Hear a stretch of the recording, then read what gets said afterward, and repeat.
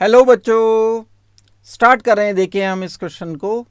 Compound Equanil work as antidepressant as well as anti hypersensitive have a structure ये compound होता है drug होता है, जिसका इस्तेमाल हम एंटी डिप्रेसेंट की तरह से एनेक्जिटी दूर करने के लिए या anti hyper sensitive blood pressure वगैरह के लिए भी कई बार इस्तेमाल कर लेते हैं। ये जो इक्वेनिल कंपाउंड होता है, क्या होता है? इसका ये स्ट्रक्चर होता है। एक कार्बन पर C H three C H three and C H three and C H three ये कार्बन अगर मैं कनेक्ट करता हूँ, अगर यहाँ दो एच और लगे होते, इधर एक एच इधर एक एच तो ये नियोपेंटेन होता। इस नियोपेंटेन से सोचना शुरू करो। इस नियोपेंटेन पर जब हम कोई एक ग्रुप कनेक्ट करते हैं, oxygen, C double bond oxygen NH2 ये अमाइड ग्रुप है इतना, ये C double bond oxygen oxygen ester group है।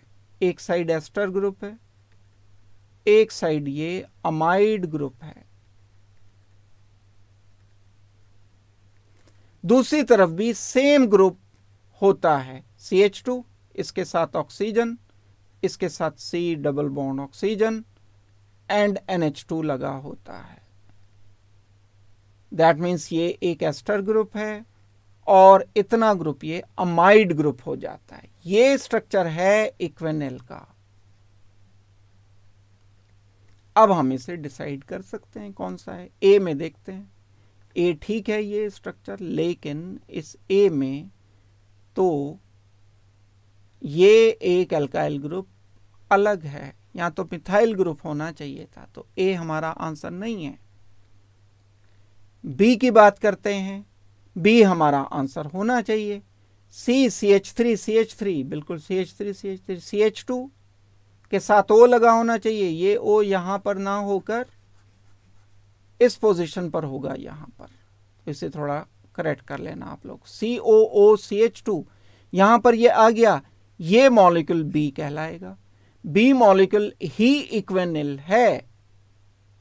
ये तो बारब्यूटरेट होते हैं सी तो हमारा आंसर नहीं है।